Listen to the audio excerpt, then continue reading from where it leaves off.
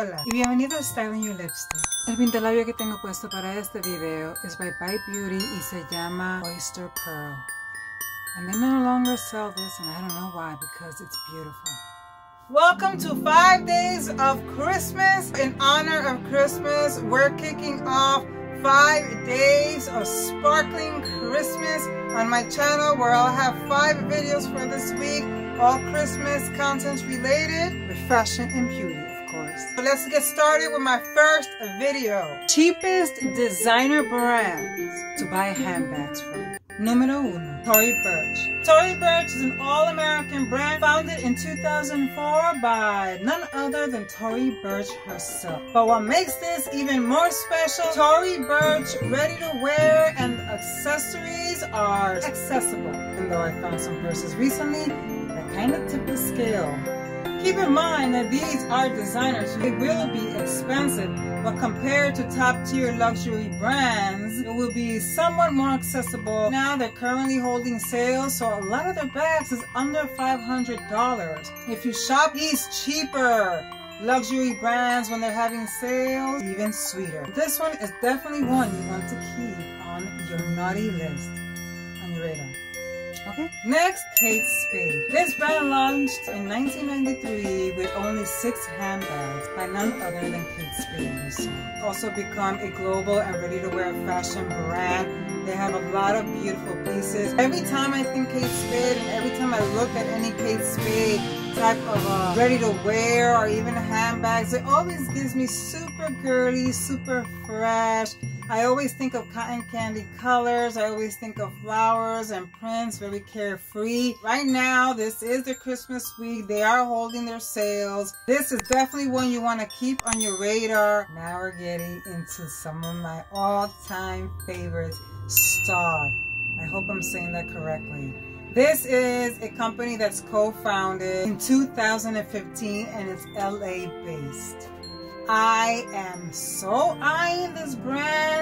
Borderline stalker status. There's a pair of boots by this brand that I'm actually eyeing at the moment. And look at their handbags. This is one I've been keeping on my radar. I personally like a hot brand. They're very unique and it gives me like an indie vibe. They have a very cool city girl type of look going on. One of the boots that I'm eyeing by this brand is on my wish list, which will be one of the videos coming up during this Christmas week. I'm not to tell you now, so you can wait and then hold on and watch that video. Next is Marc Jacobs. If you are not new to my channel, you already know I'm obsessed with Marc Jacobs. I have a bag collection from Marc Jacobs, and as of right now, I spy a few Marc Jacobs bags on sale. Mommy, I saw a red one. I stated in my videos before that I want a red one. If you haven't seen Marc Jacobs bag collection, I will link it up somewhere up here. You can click on it now or wait till the end of the video and the link will be down in my description box. You've got to see my little collection of Marc Jacobs. Marc Jacobs knows what they're doing. Clearly. The uh, handbags that Marc Jacobs carry is the perfect son or daughter any mom could have. The perfect concoction of like streetwear, edgy, sexy, sleek, durable such a city bag the one that i'm eyeing right now is on sale for 225 dollars by marc jacobs i mean i have to tell myself to chill the fuck out but shit. Next is Coach. I actually have a handbag by this company. You can find bags in the $300 range. They have sales for like in $295. Of course, it varies. Coach is a little bit more expensive, but you can find amazing deals and price points that are a little bit more accessible. Coach has really upped their game because I was never a fan of Coach. But recently it feels like, I don't know if they got a new creative director, but it feels like it, they got like an upgrade because I even purchased a shoe from there, like a summer shoe, and I never buy anything by Coach because their aesthetic just never appealed to me. Michael Kors. Michael Kors is one that took me a minute to kind of like catch up to because I was never really a fan of Michael Kors.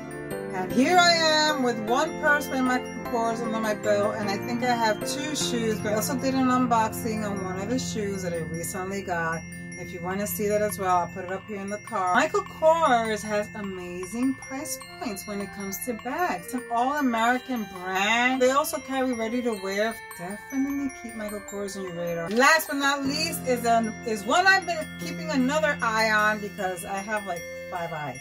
Cult Gia or Gay, I'm not sure how you pronounce this brand, was founded in 2012. It is an LA fashion-based brand and it was founded by a woman, so it's a woman-owned company. This brand is really eclectic and unique and different. I feel like they actually stand out and rightfully so. Have to see their handbags. I mean, they look like jewelry ornaments and the prices are accessible, but definitely keep Cult Gia or Gaia on your radar. Stay tuned for tomorrow because five days of Christmas continues.